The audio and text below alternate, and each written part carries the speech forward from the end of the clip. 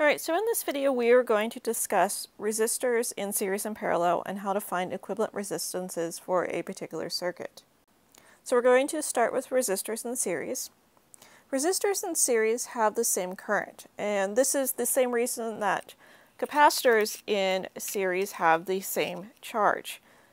Because the flow of electrons is coming from the power supply, and as it crosses each resistor, it has no alternative path.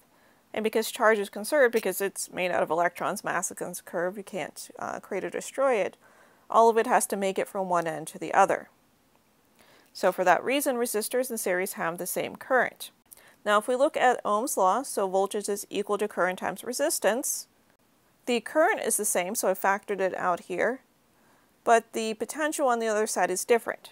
Now the potential that comes in here as it goes across each circuit element is going to drop so that the other end you have zero potential. That's why you need a power supply to bring it back up.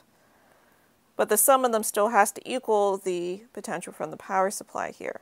So this is why I split this into three. You have three different resistances, but the same current, so I factored the current out. So to calculate equivalent resistance for resistors in series, you simply add the resistances. Now please be careful because this is the opposite of how it works for capacitors it's capacitors in parallel that you add the capacitance together. So resistors in series and capacitors in series both have the same charge or current. How you calculate the equivalencies is reversed. So for resistors, we're going to add the resistances to get the equivalent resistance. Alright, so when we talk about resistors in parallel, resistors in parallel are going to have the same potential difference, just like capacitors in parallel had the same potential difference. And it's for the exact same reason. The electric force is a conservative force, so it is path independent. So no matter which path you take to move through the circuit, it is going to take the same amount of work or um, work per charge, so potential difference.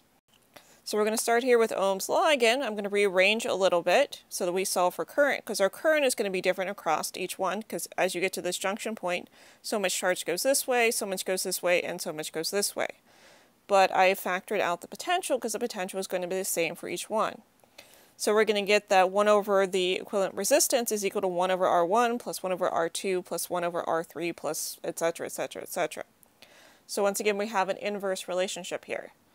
So remember once again this is reversed from capacitors. Capacitors in series you do the inverse rule. Capacitors or resistors in parallel you do the inverse rule.